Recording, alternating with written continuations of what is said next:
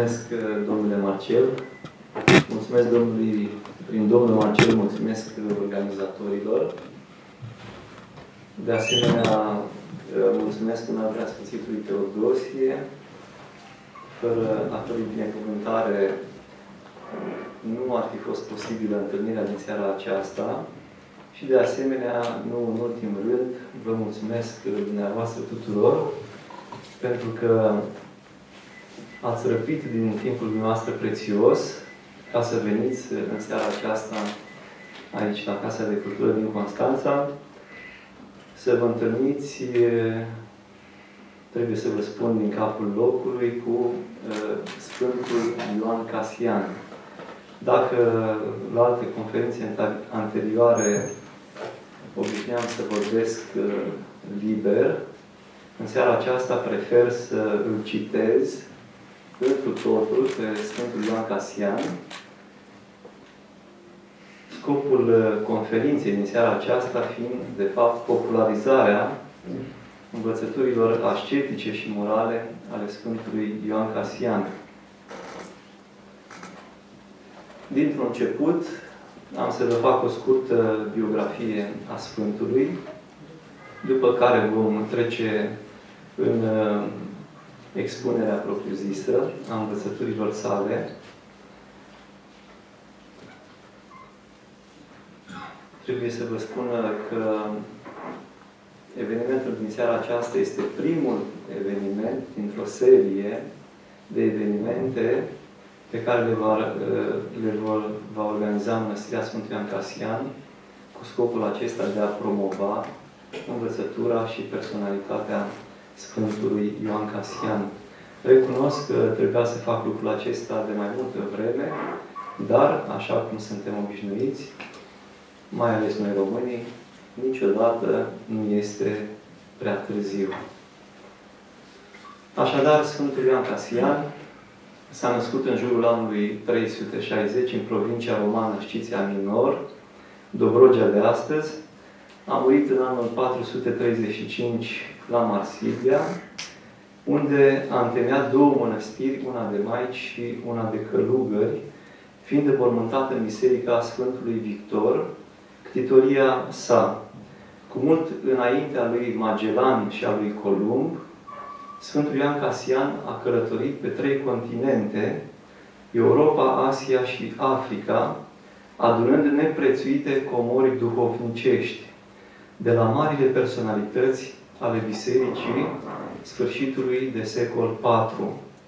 Astfel, îl întâlnim pe Sfântul Ioan Casian în copilăria sa, dobrogeană, ospătându-se duhovnicește alături de călugării știți. Apoi îl întâlnim la locurile sfinte din Ierusalim. În Egipt îl vedem alături de renumiții părinții ai pustiei, la Constantinopol îl vedem alături de Sfântul Ioan Gură de Aur, apoi la Roma, alături de viitorul papă și sfânt Leon cel Mare, revărsând în final toate acumulările lui de o viață pe tărâmul stâncos al Marsiliei. În decursul vieții sale, Sfântul Ioan Casian deseori își va aminti de locurile natale, în care se găsea averea moștenită de la strămoși. Își va aminti de frumusețea regiunilor cu întinderi, singurătăți și păduri care puteau nu numai să îl încânte pe un monah, dar chiar să-i dăruiască cele mai bune mijloace de trai. În plus, își amintea cu mare dor și de părinții săi trupești, zicând de câtă evlavie și pietate era plină inima părinților noștri. Știam că ei nu ne-ar împiedica niciodată de la înfăptuirea planurilor noastre și ne gândeam mereu că mai mult lor le datorăm înaintarea noastră duhovnicească. Ne scuteau de orice griji, ne asigurau toate ale traiului, îndeplinind ei cu bucurie tot ceea ce ar fi trebuit să facem noi. Din copilărie m-am aflat printre călugări, scria Sfântul Ioan Casian cu nostalgie. Dintre aceștia s-a apropiat în mod deosebit de cuviosul German, care i-a devenit prieten pentru tot restul vieții și pe care l-a numit frate după Duh și nu după trup. În jurul anului 378 după Hristos, Sfântul Ioan Casian, împreună cu sora sa și cu viosul German, pleacă într-un pelerinaj la Ierusalim, unde cei doi prieteni se închinoviază într-o mănăstire de călugări din Betleem, iar sora Sfântului intră într-o mănăstire de maici, pe care nu o va părăsi niciodată. Amintindu-și de acea perioadă, Sfântul Ioan Casian scria Am început atunci să ne dorim un mai mare har al desăvârșirii și astfel ne-am hotărât să plecăm imediat în Egipt. În Egipt au cunoscut pe mari părinți ai pustiei din vremea aceea. Ava Moise, Daniel, Serapion, Serenos, Pafnutie, Isaac și alții, de la care au învățat exercițiul virtuților, curăția inimii și știința viețuirii duhovnicești. Mai întâi, prin exemplul lor personal și apoi prin dialoguri de o rară frumusețe filocalică. Aceste dialoguri, foarte importante pentru cei care își doresc desăvârșirea creștină, au fost redactate în scris și, din fericire pentru noi, se păstrează până astăzi. În seara aceasta, așadar, ne vom ocupa de primele două convorbiri dintre cele 24 de convorbiri, și anume convorbirile cu Ava Moise și cu Ava Serenos.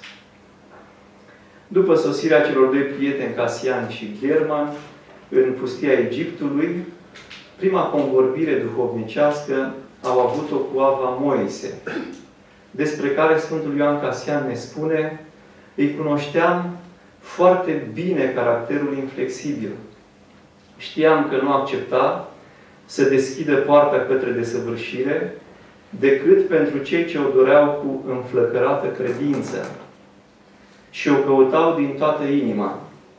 El nu vorbea în niciun caz celor ce nu voiau să-L asculte, fiindcă socotea că dacă împărtășește celor nedemni și care primesc în silă lucrurile necesare și vrednice a fi descoperite numai celor ce doresc perfecțiunea, poate da impresia că a pătruns în el fie viciul lăudăroșeniei, fie crima trădării. Să ne amintim că Mântuitorul Iisus Hristos le spunea ucenicilor săi, cel ce voiește să vină după mine, să se lepede de sine, să-și ia crucea și să-mi urmeze mie.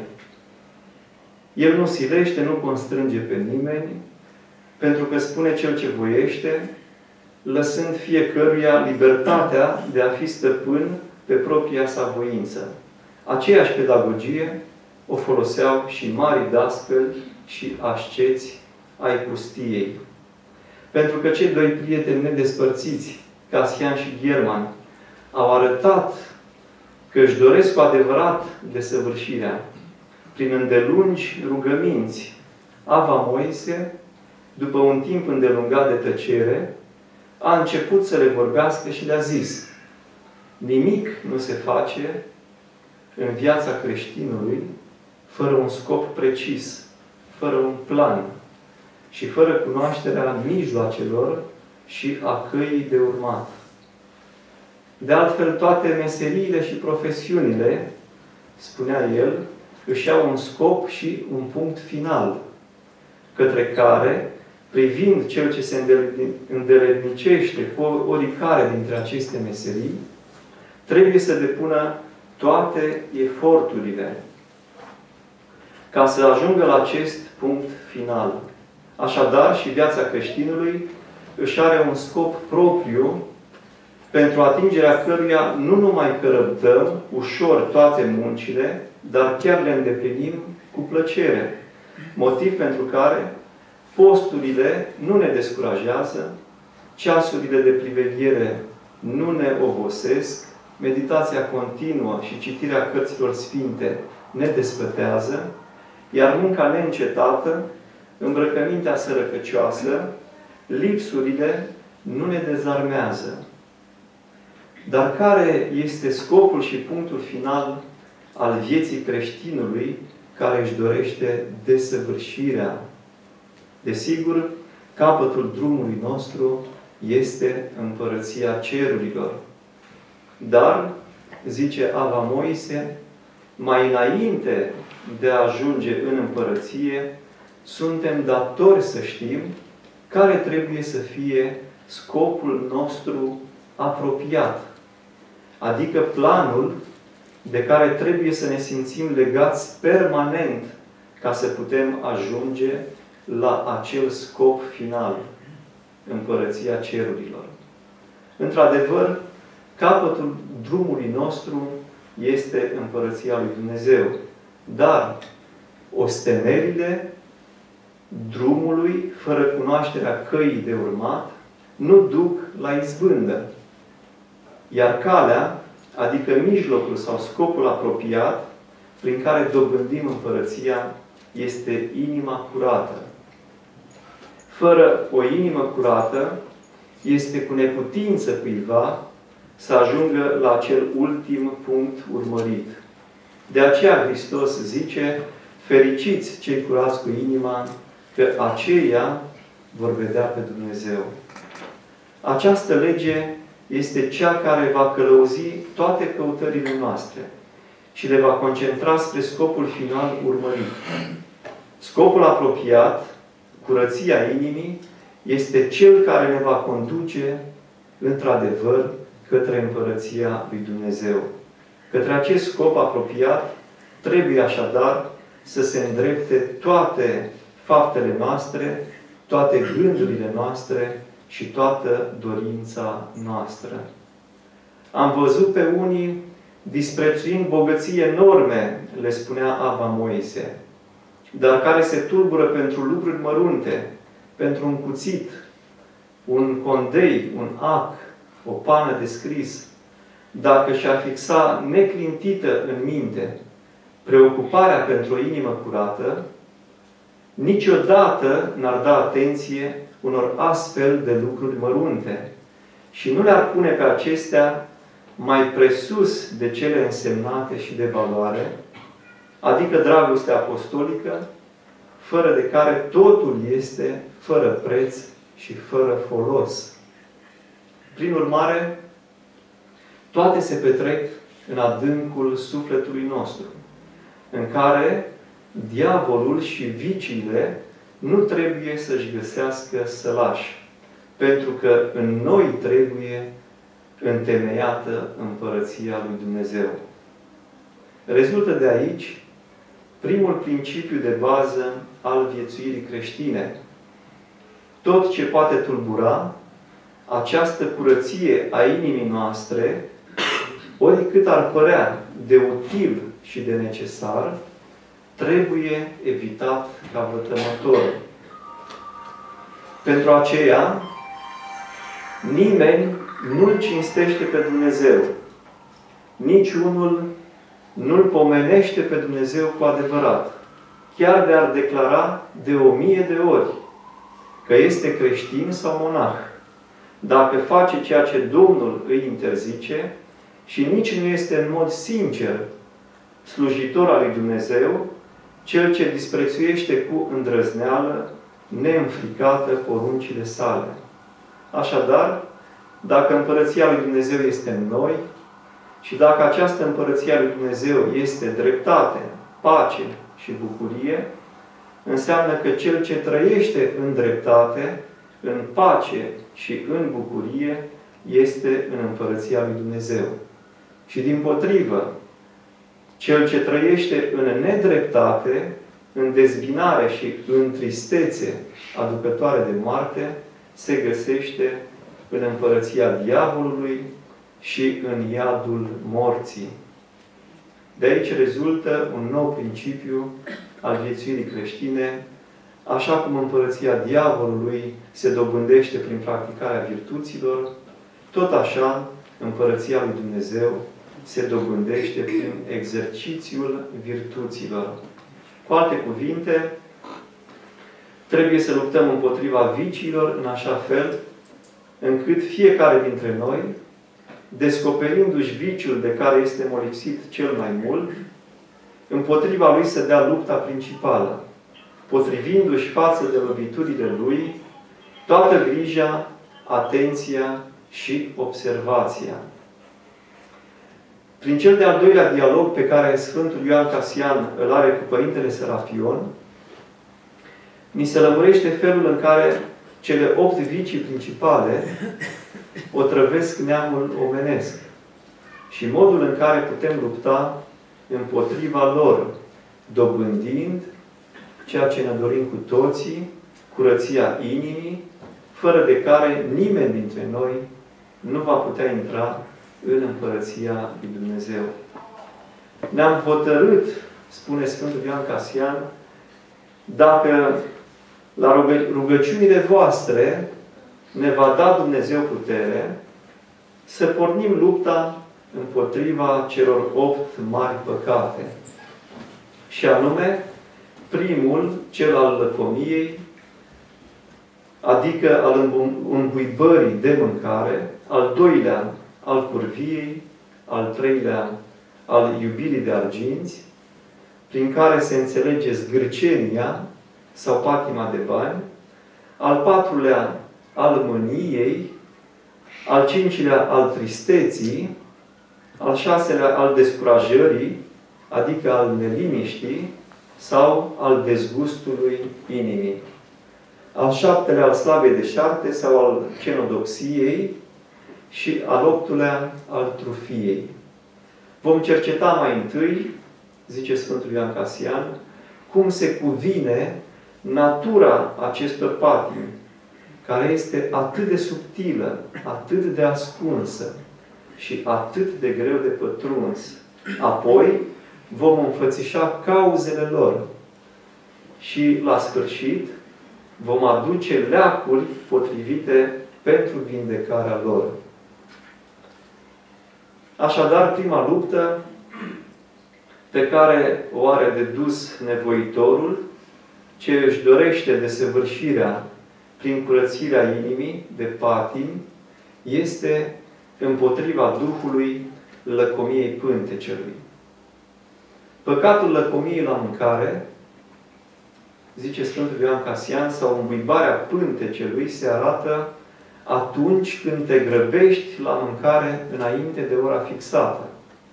Sau atunci când găsești plăcere în umplerea stomacului și în înfulecarea cu lăcomie a mâncării. Și atunci când dorești mâncăruri alese și scumpe. Sfântul Ioan Casian acceptă că nu este o regulă general valabilă pentru toți în ceea ce privește mâncarea. Timpul mesei, cantitatea și calitatea mâncărurilor pot fi felurite negreșit după starea diferită a trupurilor, după vârstă ori sex. Totuși, scopul înfrânării este același pentru toți.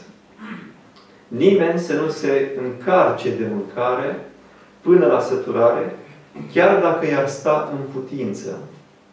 Într-adevăr, nu numai calitatea mâncării, dacă este de dulce sau de post, dar și cantitatea mâncării tocește ascuțimea minții și îngreunând și Duhul odată cu trupul, ațâță focul primeștios al patimilor. Un pântec îmbuibat de tot felul de alimente naște semințele desfrâului și mintea înnăbușită de greutatea mâncărurilor nu mai poate păstra cârma dreptei judecăți. Mintea negreșit se amețește nu numai de beția vinului, spune Sfântul Ioan Casian. Desfrâul și pierzania le-a venit celor din Sodoma nu de la beție, ci de la îmbuibarea cu pâine. Prin ce a păcătuit cu adevărat sora ta Sodoma, zice profetul Ezechiel, decât că își mânca pâinea sa până la sațiu și îmbuibare. Ori dacă pe aceea din Sodoma și Gomora numai necumpătarea la pâine i-a împins ca urmare a îmbuibării în prăpastie atât de adâncă a ticăloșiilor, ce trebuie să cugetăm despre cei care, cu trup sănătos fiind, își îngăduie o hrănire fără de măsură cu carne și vin, folosindu-le nu după cât le cere slăbiciunea trupului, ci după cât îi îndeamnă pofta inimii. Sfântul Ioan Casian recomandă celui care vrea să lupte cu această patimă numai atâta hrană să-și îngăduie, câtă îi este de ajuns pentru a trăi, nu câtă îi cere pofta. Iar mâncarea lui să fie simplă, ieftină și ușor de procurat. Cu toate acestea, nici mâncărurile mai hrănitoare, care contribuie la sănătatea trupească, nu sunt o primejdie pentru viața duhovnicească, dacă sunt folosite cu cumpătare. Pentru că toată energia dobândită din această hrană este într-adevăr consumată în suferința și slăbiciunea cauzate de boală. Curățirea Duhului, spune Sfântul Ioan Casian, este strâns legată de flămânzirea trupului. Pentru că cine nu va fi în stare să-și înfrâneze dorințele pântecului, nu va putea să reziste niciodată învoldirilor poftei aprinse a cărnii. Aceasta este pentru noi prima luptă. Este ca o primă probă în întrecerile olimpice, zice Sfântul Ioan Casian. Și anume, din râvna pentru desăvârșire, să stingem pofta gurii, adică plăcerea gustului, și pofta pântecelui, adică îmbuibarea. Cei care doresc desăvârșirea, așa trebuie să-și orânduiască posturile, ca și când ar vrea să trăiască în trup o sută de ani. Și așa să-și pună frâu pornirilor sufletului, să uite de jigniri, să alunge tristețile, să disprețuiască durerile și pierderile, ca și când ar muri în fiecare zi. Remediul, cu ajutorul căruia putem înlătura Duhul lăcomiei din inimile noastre, este enunțat de Sfântul Ioan Casian în următorul principiu. Nu vom putea disprețui plăcerile mâncărurilor pământești decât dacă mintea, contemplând la cele veșnice, își va găsi desfătarea în dragostea pentru virtuți și în frumusețea hranei cerești. Numai așa toate cele pământești vor fi desconsiderate ca fiind lucruri trecătoare. Mai departe, Sfântul Ioan Caxian povestește de Ava Paesius, care își ducea viața retras într-un pustiu nemărginit. Venind la el odată Ava Ioan, superiorul unei mari mănăstiri, cu mulți monahi, l-a cercetat ca pe un vechi frate și prieten, întrebându-l cum și-a petrecut toți acești 40 de ani de când despărțit de lume, n-a mai fost tulburat de niciun frate în pustie. Ava Paesius i-a răspuns simplu, soarele nu m-a văzut niciodată mâncând. Dar să nu credem că poate fi îndestulător, zice Sfântul Ioan Casian, pentru desăvârșirea inimii și neprihănirea trupului numai acest post de mâncăruri văzute, dacă nu-l vom uni pe acesta cu postul sufletului.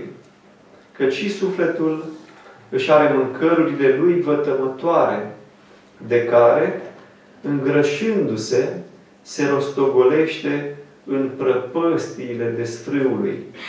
O asemenea mâncare pentru suflet este defăimarea aproapelui, mânia, invidia, slava deșartă, de care vom vorbi mai departe. A doua luptă pe care o are de dus nevoitorul ce își dorește desăvârșirea prin curățirea inimii de patimi, este împotriva Duhului desfrânării. Păcatul desfrânării, zice Sfântul Ioan Casian, îmbracă trei forme. Unirea dintre cele două sexe în afară, în afara căsătoriei, necurăția sau păcatul lui Ionan, cunoscută și sub numele de Malahie, și pofta ochilor, așa cum zice Domnul, cel ce se uită la o femeie poftindu-o, acela a și făcut adulter cu ea în inima lui. Pentru că ochii nu fac decât să ofere sufletului slujirea lor. Bolnavă de rana aceasta a desfrânării este de fapt inima, care vede pentru a se învăpăia de dorințe. Așadar, a doua luptă, după învățătura bătrânilor, este împotriva Duhului desfrânării. Lupta aceasta este un război lung și mai crâncen decât toate celelalte, terminat cu biruință de foarte puțini dintre noi. Războiul acesta înfricoșător începe să asalteze neamul omenesc chiar din primul moment al tinereții. Și nu se stinge decât numai după ce vor fi înfrânte mai întâi celelalte vicii. Războiul acesta fiind dat pe două fronturi, trupesc și sufletesc. De aceea, pentru a dobândi și a rămâne stăpâni pe o desăvârșită neprihănire a trupului și a sufletului, nu este de ajuns numai postul în sine, înfrânarea de la mâncare, ci trebuie adăugate și căința inimii, rugăciunea stăruitoare, cugetarea continuă asupra Scripturilor, cât și osteneala și lucrarea mâinilor, care opresc mintea din cutreierul ei nestatornic.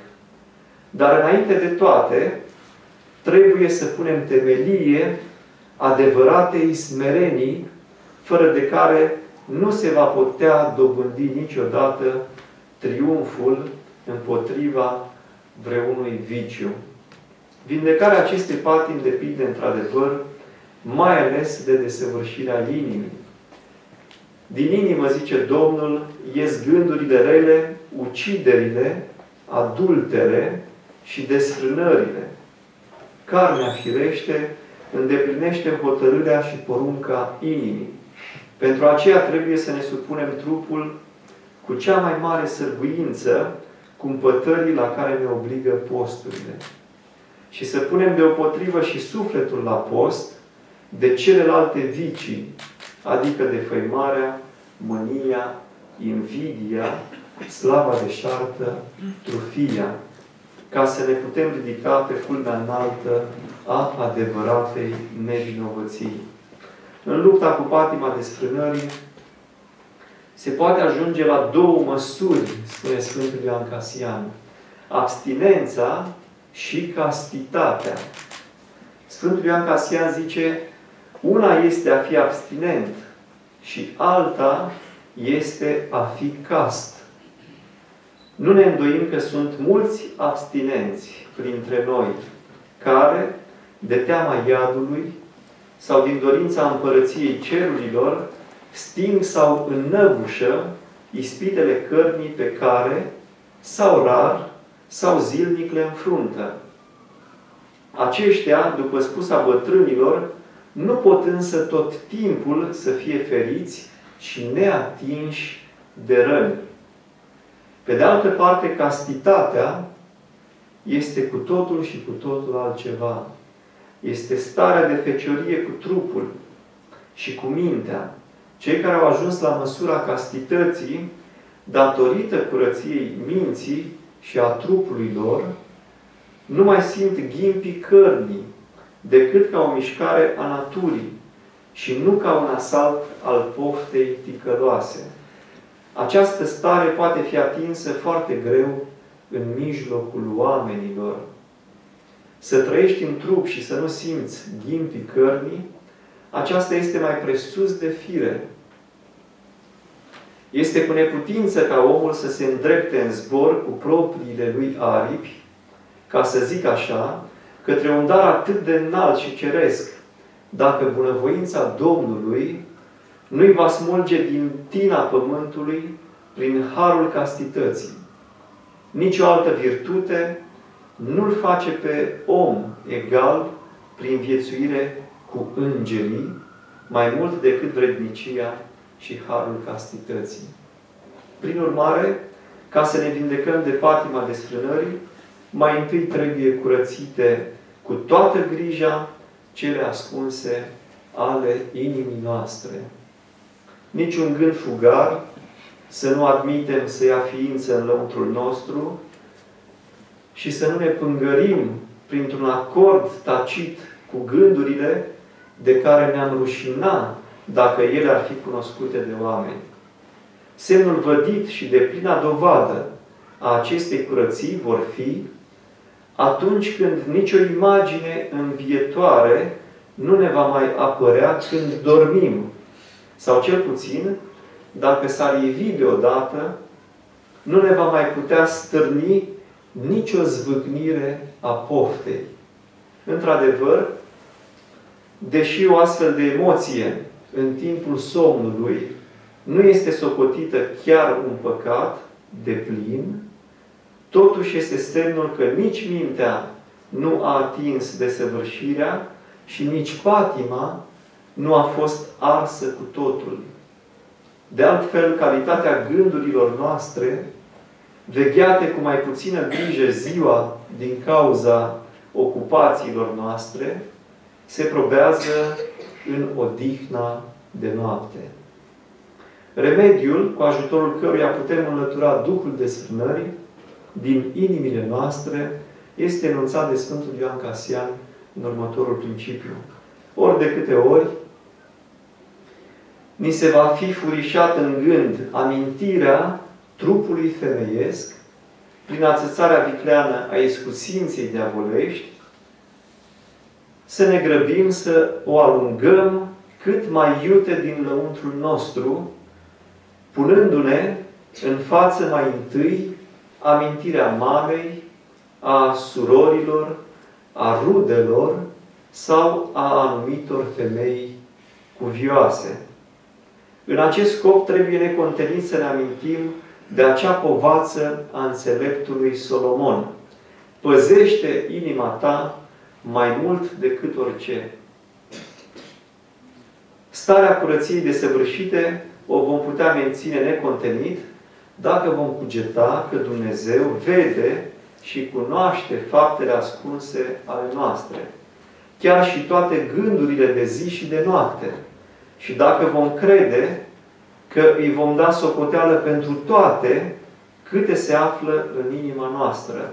La fel cum vom da socoteală pentru toate faptele și gesturile noastre. Deci, pentru ca aceste imagini înșelătoare să nu se mai furișeze nici în somn, trebuie să păstrăm mereu un post egal și măsurat. Apoi, fără încetare, trebuie să coborâm la o adâncă umilință a inimii și la răbdare și să ne ferim din răsputeri zi de zi de mânie și de celelalte patimi. A treia luptă pe care o are de dus nevoitorul ce își dorește desăvârșirea prin curățirea inimii de patimi este împotriva Duhului iubirii de arginți. Păcatul iubirii de arginți, cunoscut și sub numele de arghirofilie, este un război străin de natura noastră, zice Sfântul Ioan Casian, care vine ori dintr-o minte bolnavă din cauza nepăsării sau a unei greșite libertăți de voință, ori dintr-o dragoste căldicică față de Dumnezeu. Dacă celelalte vicii înțepăturile mâniei, tristețea, pornirile naturale ale cărnii, lăcomia, apar în ființa noastră înainte de a fi în măsură să facem deosebirea între bine și rău, punând stăpânire pe om chiar de la cea mai fragedă vârstă, această boală, argirofilia, vine asupra noastră mai târziu și din afară. Și cu cât mai ușor poate fi evitată și respinsă la început, cu atât devine mai primejdioasă decât toate celelalte vicii și mai greu de alungat după ce a pătruns în inima noastră, făcându-se, după cum zice Sfântul Apostol Pavel, rădăcina tuturor relelor. Din momentul în care această patimă va pătrunde în sufletul slab în credință, odată cu sporirea banilor, se dezlănțuie în el o sălbatică lăcomie de câștig.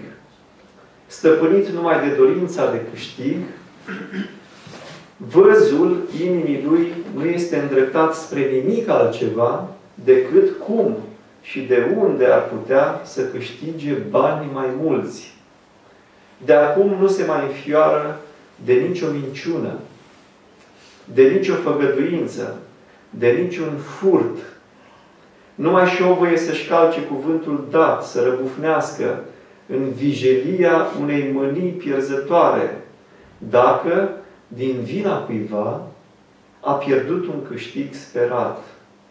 Și nu stă la îndoială să treacă peste măsura la care îl obligă cinstea și umilința.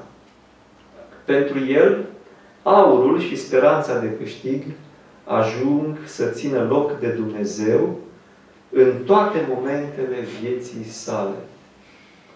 Din acest motiv, fericitul apostol a declarat că patima aceasta este nu numai rădăcina tuturor relelor, ci chiar o închinare la idoli. Patima iubirii de arginți este atât de tiranică, încât odată ce a robit sufletul cuiva, nu-i mai îngăduie să respecte nicio regulă a onestității. Și nu se mai simte sătul cu niciun câștig, oricât de mult ar agonisi, deoarece iubitorul de arginți, crezând că își stinge dogoara patimii câștigând, și aprinde și mai mult. Să ne amintim de Apostolul Iuda, care urmându-L pe Hristos, asemenea celorlalți apostoli, din patima iubirii de arginți, ajunge să-L trădeze pe Domnul și pierde astfel nu numai treapta de apostol, ci și viața sa, punându-și capăt zilelor. Remediul cu ajutorul căruia putem înlătura Duhul iubirii de arginți din inimile noastre este enunțat de Sfântul Ioan Casian în următorul principiu. Căci nu prin bogății, ci prin sărăcie se pune capăt acestei patimi dezlănțuite. Patima iubirii de arginți, zice Sfântul Ioan Casian, face victime chiar și printre călugări. Sfântul Ioan Casian zice că adevărații urmași ai apostolilor sunt cei care nu se amăgesc singuri, ci năzuiesc la o asemenea disciplină și regulă de viață, încât se rup cu adevărat de această lume și nu mai opresc nimic din cele ce au disprețuit odinioară, urmând să trăiască din munca lor și nu din banii ascunși. Pentru că lugări, patima iubirii de arginți îmbracă trei forme. Prima, atunci când patima aceasta nu-i lasă pe cei ce renunță la cele lumești să se, lipească, să se lipsească de averile și de bunurile lor după ce au intrat în mănăstire. A doua formă, care îi îndeamnă să ia înapoi cu și mai mare lăcomie ceea ce au împrăștiat sau au dat săracilor înainte de a intra în mănăstire. iar a treia care îi împinge să dorească și să dobândească lucruri pe care, înainte de a intra în mănăstire, nu le-au avut. Mai mult decât atât, acestora le spune Sfântul Ioan Casian că nu le va fi de niciun folos a nu avea bani. Dacă dorința de a avea continue, continuă să stăruie în ei. Trebuie precizat și faptul că, așa cum pot fi în păcatul desfrânării, chiar și cei cu trupul nepângărit, tot astfel, după simțământul și mintea lor, pot fi osândiți la un loc cu cei avari, chiar cei foarte săraci, între care, să zicem că se numără și călugării, căci le-a lipsit acestora prilejul de agonisire, dar nu și pofta. A patra luptă pe care o are de dus nevoitorul, ce își dorește desăvârșirea prin curățarea inimii de patim, este împotriva Duhului mâniei. Mânia, zice Sfântul Ioan Casian, care trebuie alungată cu totul din sufletele noastre, pentru o travă ei ucigătoare, este de trei feluri. Cea care este în lăuntru nostru, cea care se dezlănțuie în afară prin vorbe sau fapte și cea care ne tulbură zile și vreme îndelungată. Cât timp mânia stăruie în inimile noastre, orbindu-ne mintea, cu vătămătoarele ei întunecim, nu vom putea ajunge nici să judecăm cu dreaptă chipzuință, nici să ne bucurăm de văzul unei sublime contemplații și nici să dăm sfaturi înțelepte altora. Am auzit pe unii, zice Sfântul Ioan Casian, care încercând să se îndreptățească, se dezvinovățesc, susținând că nu este rău să ne mâniem pe frații care cad în vreo greșeală, de vreme ce se spune că însuși Dumnezeu se înfurie și se mânie fie împotriva celor ce nu vor să știe de El, fie împotriva celor care îl disprețuiesc. Așa cum reiese din rugăciunea profetului David, Doamne, nu cu mânia Ta să mă mustri pe mine, nici cu urgia Ta să mă cerți. Tulburarea mâniei nu se poate atribui naturii veșnice a lui Dumnezeu fără a comite o mare blasfemie, spune Sfântul Ioan Casian. Mânia este bună doar împotriva patimilor proprii atunci când ne indignăm asupra acelor fapte sau gânduri din ascunzișurile inimii noastre pe care ne-am rușina să le facem ori să le vorbim în fața oamenilor. Tot astfel, mânia ne aduce bună slujire când ne mâniem împotriva mâniei însăși, fără a îngădui să-și facă lăcaș în adâncul inimii noastre. Fericitul Apostol Pavel a zis, mâniați-vă, dar nu greșiți, adăugând îndată, soarele să nu apună peste mânia voastră, nici să dați loc diavolului.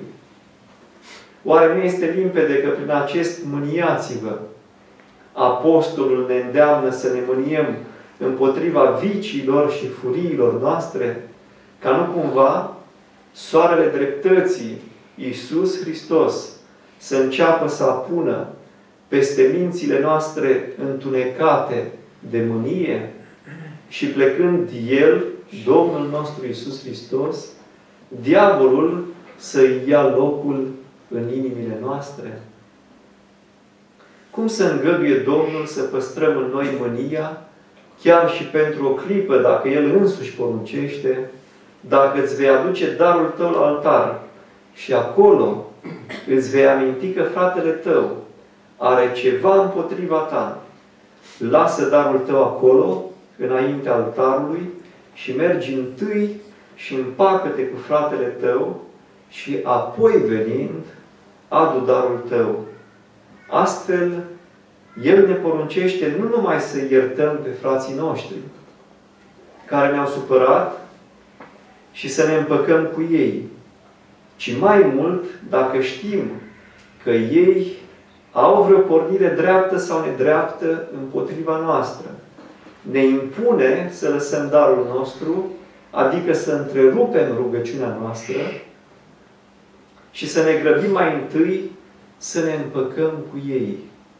Abia după ce le-am potolit mânia, putem înălța neprihănite darurile rugăciunilor noastre. Dacă nu vom ține cont de această recomandare, zice Sfântul Ioan Casian, și vom îndrăzni să înălțăm rugăciunii lui Dumnezeu în stare de tulburare, trebuie să știm că nu rugăciunea adresăm Domnului, ci sfidarea noastră cu duh de răzvrătire. Suntem la fel de vinovați atunci când ne mâniem pe cineva sau cineva se mânie pe noi. Cu sau fără motiv, cu dreptate sau fără dreptate. În toate situațiile trebuie să ne grăbim să stingem mânia noastră sau a celorlalți. Înăbușirea mâniei nu trebuie să atârne de desăvârșirea morală a altuia, ci să vină din puterea noastră duhovnicească, care se dobândește nu prin virtutea răbdării semenilor, ci prin propria noastră îndelungă răbdare. Remediul cu ajutorul căruia putem înlătura Duhul Mâniei din inimile noastre este enunțat de Sfântul Ioan Casian în următorul principiu.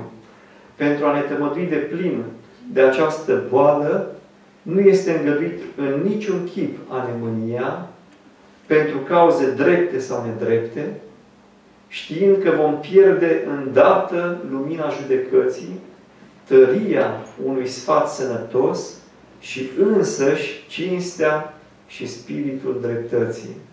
În plus, față de acestea, celor ce caută desăvârșirea, nu le este de ajuns să nu se mânie împotriva unui om, pentru că mânia se poate porni chiar împotriva lucrurilor neînsuflețite. Mi-amintesc, spune Sfântul Ioan Casian, când trăiam în pustie, cum mă mâniam împotriva condeiului, dacă scria prea gros sau prea subțire, sau împotriva cuțitului, dacă tocindu-i se ascuțișul, tăia greu cele de trebuință. Nu puteam alunga sau potoli tulburarea Duhului fără să scot vreun blestem, fie împotriva obiectelor fără de simțire, fie chiar împotriva diavolului. De aceea, dacă revenim să ajungem la acea înaltă răsplată divină, despre care se spune fericiți cei curați cu inima, că aceia vor vedea pe Dumnezeu, trebuie să suprimăm mânia nu numai din fapte, ci chiar din adâncul inimii noastre să o smulgem cu totul. A cincea luptă pe care o are de dus nevoitorul, ce își dorește să ajungă în Împărăția lui Dumnezeu, prin curățarea inimii de patimi, este împotriva Duhului tristeții. Păcatul tristeții, care ne desparte pentru totdeauna de contemplația divină, spune Sfântul Ioan Casian, îmbracă două forme. Fie ea naștere ca urmare a unei mânii anterioare sau din neîmplinirea vreunei pofte, ori a unui câștig, fie coboară din deznădejde sau dintr-o neliniște nelămurită a minții noastre, fără să existe vreun motiv concret. Într-adevăr, câteodată, chiar fără să existe vreun motiv care să ne pricinească această cădere. Suntem apăsați de o atât de neașteptată tristețe, încât nu mai putem primi cu bunăvoința de altă dată nici pe cei dragi nouă, nici pe prietenii sosiți. Ori cât de firească ar fi fost convorbirea lor, nouă ni se pare supărătoare și deprisos. Și nu suntem în stare să le dăm niciun răspuns plăcut.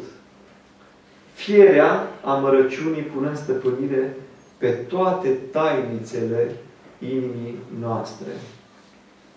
Alte ori însă, pe, cei, pe cel stăpânit de chinurile tristeții sfâșietoare, după ce a pierdut orice judecată sănătoasă, iar pacea inimii i s-a tulburat, Duhul tristeții îl face să se comporte cu, ca un om ieșit din minți. Ca și căzut într-o beție, îl doboară și îl prăbușește într-o disperare dureroasă. Trebuie să știm că patimile noastre nu sunt întotdeauna stârnite din vina altora, ci mai degrabă din vina noastră. Noi avem ascunse în noi și cauzele greșelilor și semințele patimilor, care, de îndată ce ploaia ispitelor le-au dat, în mintea noastră încolțesc și dau roade. Pentru aceea, nu prin despărțirea de oameni, cât prin virtutea răbdării, poate fi atinsă desăvârșirea inimii. Pentru că nu scăpăm de cauzele tristeții, separându-ne de oameni, ci doar le schimbăm. Precum un veșmânt ros de molii nu mai poate avea nicio valoare precum lemnul brăzdat de carii, nu va mai merita să fie folosit spre podoabă, chiar ci numai pentru foc, tot așa este și sufletul chinuit de mușcăturile lacome ale tristeții. Tristețea, totuși, trebuie considerată folositoare numai pentru un singur fapt, și anume când o încercăm fie din căință, pentru păcatele săvârșite, fie aprinși de dorința de săvârșirii sau de contemplarea fericirii ce va să vină. Acest fel de tristețe, după cum zice Sfântul Apostol Pavel, este întristarea care aduce pocăință spre mântuire fără părere de rău.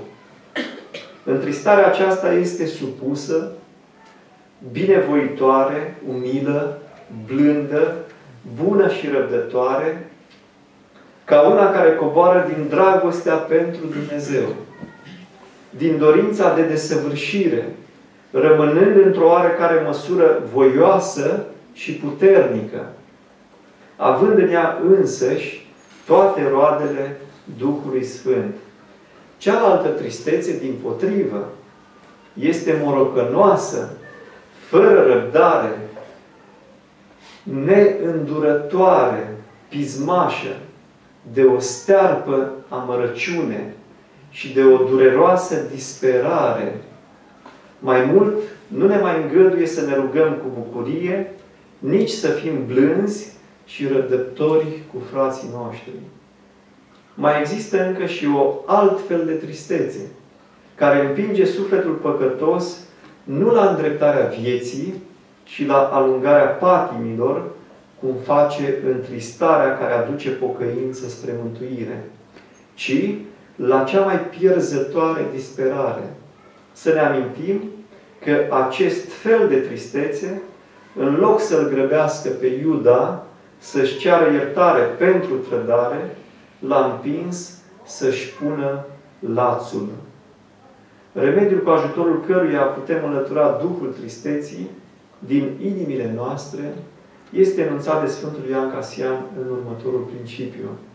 Toate felurile de tristeți vor putea fi biruite când, având privirea îndreptată spre lucrurile veșnice, care vor veni, vom rămâne voioși și neclintiți.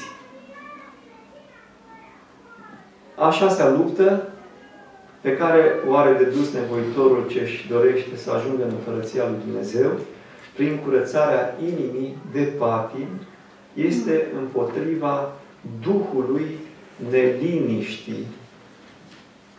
Păcatul neliniștii sau lenea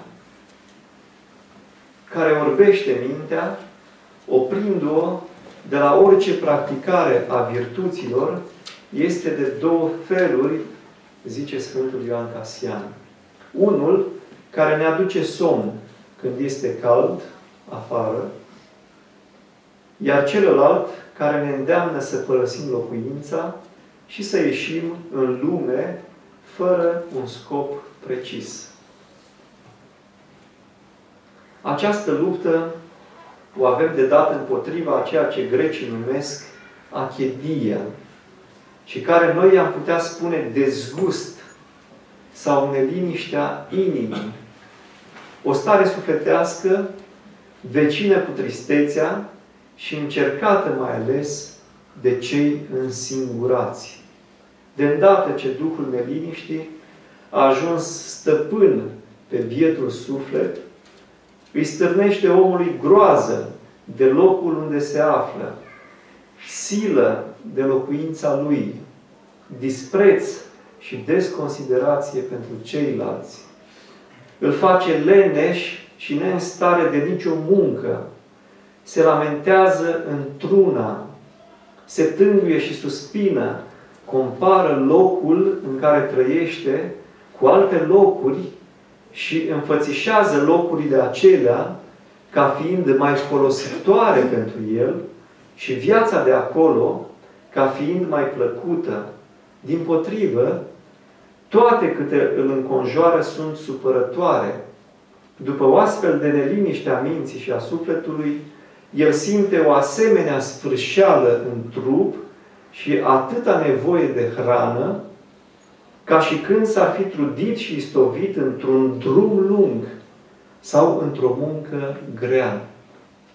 Mintea celui stăpânit de Duhul neliniștii, fiind tulburată și lipsită de orice noimă, se umple de o așa neagră întunecime și devine atât de leneșă și de neputincioasă la orice îndrumare duhovnicească, încât socotește că nu-și poate afla niciun alt remediu pentru o atât de adâncă desnădejde decât vizitând pe cineva sau lăsându-se alinării somnului.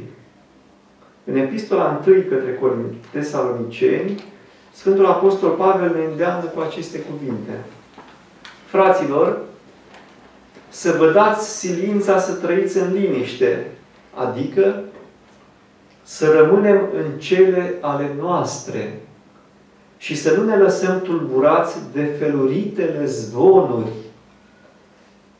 care în mod obișnuit se nasc din dorința de bârfă a celor ce le nevesc. Ca să nu ne, ne liniștim pe noi înșine și să nu ne liniștim și pe alții. În continuare, Sfântul Apostol Pavel ne îndeamnă să vă faceți fiecare cele ale voastre. Adică să nu dorim să cercetăm din curiozitate faptele lumii și să nu spionăm felul de viață al altora, în loc să ne dăm osteneala spre îndreptarea noastră și spre cultivarea virtuților. Mai departe, Sfântul Apostol Pavel arată că lenea este cauza tuturor relelor zicând Vă poruncim, fraților, în numele Domnului nostru Isus Hristos, să vă feriți de orice frate care umblă fără de rânduială. Pentru că unii dintre aceștia sunt răzvrătiți și disprețuitori, mădulare stricate de putreziciunea lenei, care trebuie retezate din mijlocul nostru, ca să nu se strice mădularele cele sănătoase. Pentru că mintea leneșului nu este în stare să cugete altceva decât la mâncare, la pântec, la iscodire și bârfă. Toate sfaturile anterioare ale Sfântului Apostol Pavel sunt cuprinse în aceste cuvinte. Cine nu vrea să lucreze, acela să nu mănânce. Cel stăpânit de somnul lene și al neliniștii, nevrând să se întrețină din munca mâinilor sale, pe care Apostolul Pavel a practicat-o de-a lungul întregii sale vieți și ne-a poruncit și nouă să o practicăm, se va folosi, desigur, de unele mărturii ale Scripturii din care își face un oarecare acoperământ al lenei. Este scris, va spune el, lucrați nu pentru mâncarea cea pieritoare, ci pentru mâncarea care rămâne spre viața cea veșnică. Dar aceste mărturii sunt niște petice luate din întregimea solidă a textului evanghelic, spune Sfântul Ioan Casian. Sunt mărturii scoase din context, fiind cusute aici, mai degrabă să acopere ticăloasa noastră lene și rușine, decât să ne încălzească și să ne împodobească cu haina scumpă și desăvârșită a virtuților. Sfântul Ioan Casian povestește mai departe de Ava Paul, care trăind într-un pustiu foarte izolat, unde fructele palmierilor și mica grădină îi asigurau hrana din destul. Totuși, aduna frunze de palmier și își impunea o muncă zilnică neîntreruptă. După ce își umplea peștera cu munca întregului an, dădea foc la tot ceea ce lucrase. Făcea aceasta ca să-și păstreze prin muncă curăția inimii, statornicia gândurilor și a trupului și să dobândească izbândă asupra Duhului neliniștii. În legătură cu asaltul neliniștii, în vremea Sfântului Ioan Casian, circula această învățătură sfântă, transmisă din generație în generație de la mari părinți ai pustiei. Cel ce muncește este ispitit de un singur demon, cel al slavei de șarte sau al trufiei. Dar cel ce nevește este prada nenumăratelor duhuri. Remediul cu ajutorul căruia putem înlătura Duhul neliniștii din inimile noastre, este enunțat de Sfântul Ioan Casian în următorul principiu. De asaltul neliniștii nu trebuie să scapi ferindu-te, ci trebuie să o birui înfruntând-o prin muncă statornică. A șaptea luptă pe care o are de dus nevoitorul ce își dorește să ajungă în Împărăția lui Dumnezeu, prin curățarea inimii de patim, este împotriva Duhului slavei de șarte. Pe când celelalte păcate sunt cunoscute ca fiind simple și cu o singură înfățișare, acesta este însă complicat, având multe și felurite fețe și își atacă adversarul din toate părțile. Acest păcat ne asaltează trupește când ne mândrim pentru bunuri materiale sau pentru lucruri care se văd.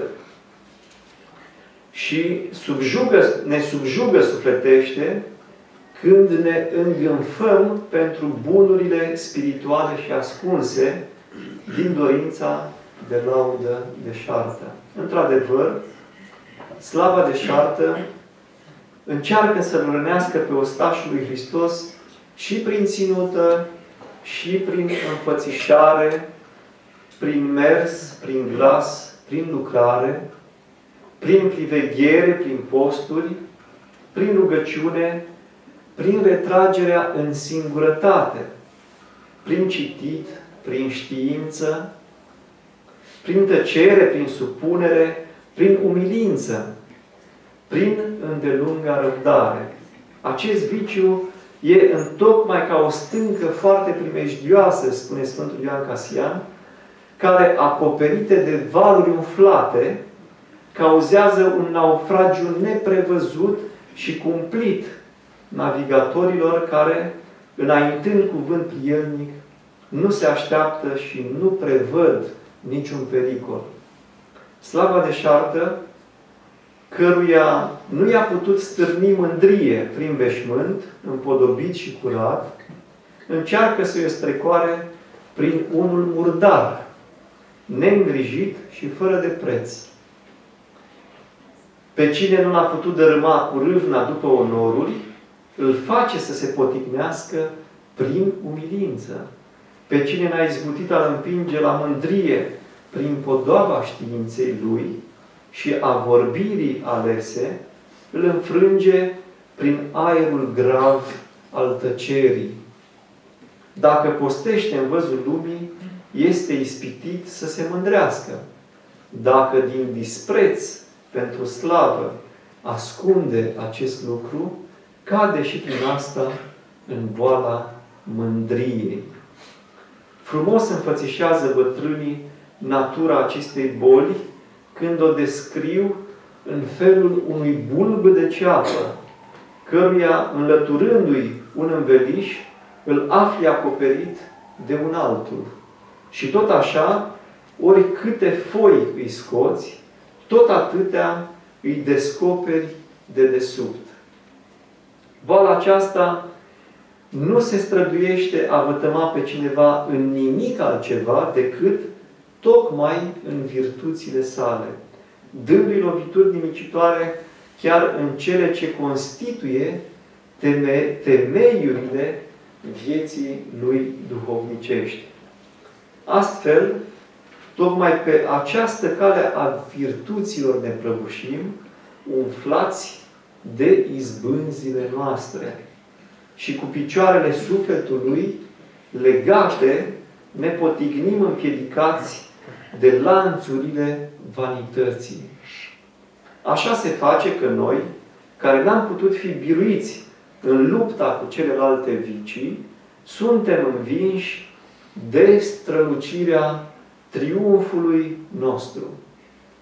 Sfântul Ioan Casian povestește mai departe de un părinte care fără greutate nu mânca în mănăstire fiind câte cinci zile. Dar venind în pustiu, îl chinuia foamea începând de la a treia oră, adică ora nouă dimineața. Întrebându-se de ce, Ava Macarie i-a spus, fiindcă aici în pustiu nu este niciun martor al ajunării tale, care să te hrănească și să te susțină cu laudele Lui.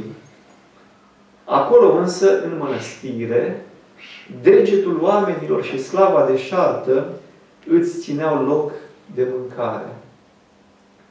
Slava de șartă pentru un singur, singur lucru este totuși folositoare începătorilor, spune Sfântul Ioan Casian, care sunt încă ademeniți de viciile carnale. Aceștia, dacă, de exemplu, fiind biciuiți de Duhul desfrânării, se gândesc la vrednicia unei slujbe sau la buna părere a celorlalți care cred cinstiți și nepătați. Măcar gândindu-se la aceasta, dau înapoi, împotrivindu-se pornirilor spre desfrânare, învingând așadar, printr-un rău mai mic, pe unul mai mare. Remediul cu ajutorul căruia putem înlătura Duhul Slavei de șarte din inimile noastre, este enunțat de Sfântul Ioan Casian în următorul principiu. Să nu îngăduim să facem nimic din orgoliu, pentru slavă de șartă, fiindcă îl jignim pe Dumnezeu preferând să facem pentru plăcerea oamenilor ceea ce s-ar cuveni să facem pentru El, care, ca Cel ce cunoaște cele ascunse ale noastre, va da pe față că am pus pe oameni mai presus de Dumnezeu și slava lumească mai presus de cea a Domnului. Păcatul trufiei, deși este ultimul, în lupta pornită împotriva păcatelor, este totuși primul prin origine și timp. Este, de fapt, păcatul lui Lucifer. Să ne amintim că Lucifer, înveșmântat în lumină dumnezeiască și strălucind prin dărnicia ziditorului, printre celelalte puteri cerești, a crezut că deține, prin tăria propriei sale naturi, splendoarea înțelepciunii și frumusețea virtuților, cu care, de fapt, îl împodobise Harul lui Dumnezeu. Trufindu-se pentru asta, s-a socotit asemenea lui Dumnezeu, pretinzând că, în tocmai ca și Dumnezeu, nu are nevoie de nimeni. Această cugetare a devenit pentru el prima cădere. Trufia, acest monstru foarte crud și mai mare decât toate păcatele de mai înainte, îi pierde cu o mușcătură cumplită îndeosebi pe cei desăvârșiți și ajunși pe ultima treaptă a virtuților. Două sunt felurile trufiei, spune Sfântul Ioan Casian. Unul spiritual și celălalt carnal. Trufia spirituală îi atacă de regulă pe cei desăvârșiți, care, biruind viciile de mai înainte, se află acum așezați aproape pe culmea virtuților, fiindcă vicleanul vrăjmaș n-a putut să-i supună prin alunecarea trupului, încearcă să-i doboare, prăbușindu-i duhovnicește. Prin trufie îi despoaie de toate meritele slujirilor de mai înainte, câștigate cu multă trudă. Însă pe noi, cei încă stăpâniți de patim pământești, vicleanul vrăjmaș ne surpă printr-o trufie, ca să spun așa, mai grosolană, cea a cărnii. Această trufie a trupului nu ne îngăduie să ne coborâm de la înfumurarea lumească la adevărata smerenie a lui Hristos. Și de aceea ne face nesupuși și duri, lipsiți de orice simțământ de blândețe și de omenie. La cel stăpânit de Duhul Trufiei, cărnii, glasul îi se ridică, cuvântul îi devine tăios, răspunsul acru și revoltat, mersul mândru și agitat, limba slobodă și niciodată dispusă să tacă, decât numai când inima îi este roasă de vreo ranchiună împotriva cuiva. Atunci tăcerea lui nu înseamnă căință sau umilință, ci trufie și mânie, încât nu cu ușurință se poate distinge ce este mai nesuferit în comportarea acestui om. Acea veselie gălăgioasă și nerușinată sau seriozitatea fioroasă și dușmănoasă de acum. Cel stăpânit de semeție ușor aduce tuturor jigniri. Respinge cu dispreț orice îndemn de a se coborâ să ceară scuze celui insultat. Până și iertarea cerută de celălalt o refuză strâmbând din nas.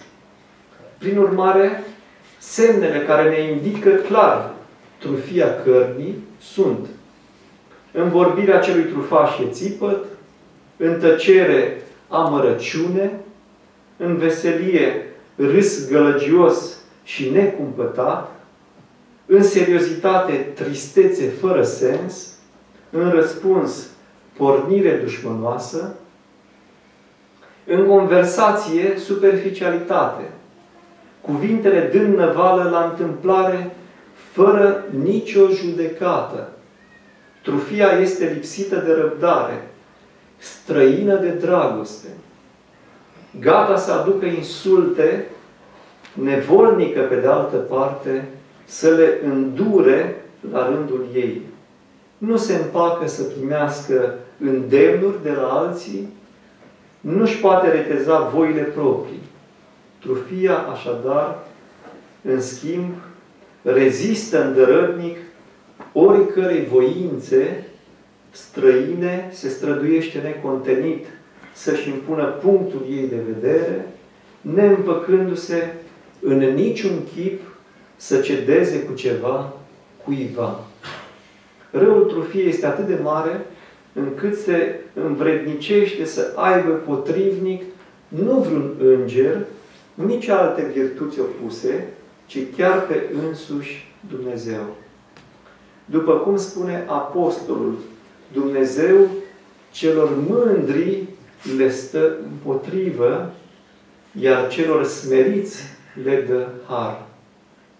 Sau cum zice în altă parte, toată inima semeață este urăciune înaintea Domnului. Mântuitorul Iisus Hristos, arătându-ne cum trebuie să ne împotrivim continuu trufiei, prin smerita cugetare, a zis, Eu nu pot să fac de la mine nimic. Tatăl care rămâne întru mine face lucrările Lui. Cu alte cuvinte, nu se va putea înălța niciodată în sufletul nostru edificiul virtuților, dacă mai întâi nu vom fi pus în inimă temeliile adevăratei smerenii, care, consolidată puternic, poate susține templul de săvârșirii și al dragostei. Prin urmare, să arătăm mai întâi față de frații noștri și de cei apropiați. Adevărata umilință izvorâtă din adânca simțire a inimii. Neputându-ne împăca sufletește dacă îi întristăm sau îi jignim cu ceva. Toate câte le-am suferit, oricât de nedrepte ar fi, sau triste și păgubitoare, le vom suporta cu foarte multă răbdare dacă ne vom gândi necontenit, fie la patimile Domnului nostru Isus Hristos, fie la cele ale tuturor Sfinților, considerând că suntem încercați de nedreptăți cu atât mai ușoare, cu cât ne aflăm atât de departe de meritele și de viața acestora. Remediul cu ajutorul căruia putem înlătura Duhul trufiei din inimile noastre este enunțat de Sfântul Ioan Casian în următorul principiu. Să păstrăm cu cea mai mare tărie aceeași umilință față de Dumnezeu și față de oameni, recunoscând că fără ajutorul și harul lui Dumnezeu nu putem face nimic din cele ce se referă la desăvârșire și să credem cu tărie că însuși faptul de a ne învrednici să înțelegem acest lucru este tot un dar de la Dumnezeu. Prin urmare, vom putea scăpa de lasul celui mai ticălos duh dacă la fiecare virtute la care simțim că am înregistrat o sporire, vom spune acest cuvânt al Apostolului. Prin Harul lui Dumnezeu sunt ceea ce sunt. Chiar autorul mântuirii noastre, Domnul nostru Iisus Hristos, spune Cel ce rămâne întru mine și eu întru el, acesta aduce roadă multă, căci fără mine nu veți putea face nimic. Dacă ne amintim de pildă că tâlharul de pe cruce a fost primit în rai datorită unei singure mărturisiri, ne vom da seama că el a dobândit atâta fericire nu prin meritul alergării lui, ci a câștigat-o în dar din mila lui Dumnezeu. O veche sentință a părinților spune că nimeni nu poate fi curățit de plin de patimile trupului dacă n-a înțeles că orice chin și orice strădanie sunt neîndestulătoare pentru a atinge desăvârșirea și dacă nu recunoaștem că desăvârșirea aceasta este obținută numai prin mila și cu ajutorul lui Dumnezeu. Pe de o parte, desăvârșirea nu poate fi atinsă cu niciun preț, fără eforturile noastre personale, posturile, privegherile, cititul cărților sfinte, zdrobirea inimii și a trupului, dar, pe de altă parte, nu poate fi atinsă nici dacă vom fi lipsiți de Harul lui Dumnezeu. În concluzie, aceste opt vicii, deși asaltează tot neamul omenesc, totuși nu îi atacă pe toți la fel. De aceea trebuie să luptăm împotriva lor în așa fel încât fiecare, descoperindu-și viciul de care este molipsit mai mult, împotriva lui, trebuie să dea lupta principală, potrivindu-și față de loviturile lui toată grija, atenția și observația. Astfel, învingându-le întotdeauna pe cele mai puternice vicii, va avea o victorie repede și ușoară împotriva celorlalte. În acest sens, Sfântul Ioan Casian dă următorul exemplu. Cei care luptă în arenă atacă la început fiarele care, pe care le-au văzut mai primejdioase, fiindcă dacă le ucid mai întâi pe acestea, cele mai puțin fioroase pot fi răpuse mai ușor.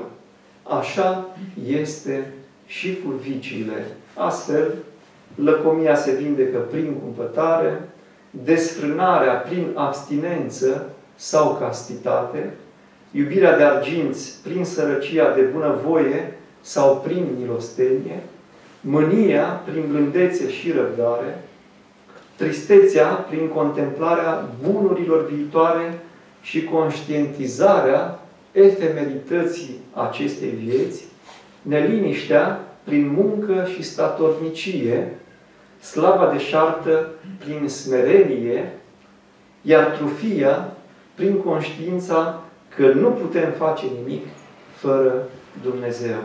Cu alte cuvinte, după cum spune Sfântul Ioan Casian, cele contrare se vindecă prin contrariile lor.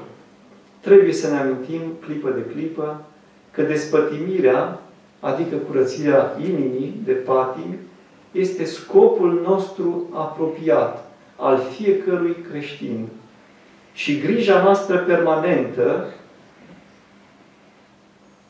pentru cel ce își dorește desăvârșirea fără de care nimeni nu va ajunge la scopul final, intrarea în împărăția cerurilor. În plus, desăvârșirea inimii ca scop al oricărui creștin impune și stăruință permanentă în rugăciune, dar și o netulburată liniște a minții, pe cât îi este îngăduită ființei umane fragile, precum și o veșnică puritate. Dar despre acestea vom vorbi într-o conferință viitoare. sfârșit și lui Dumnezeu slavă, să-L aplaudăm pe Sfântul Ioan Castian.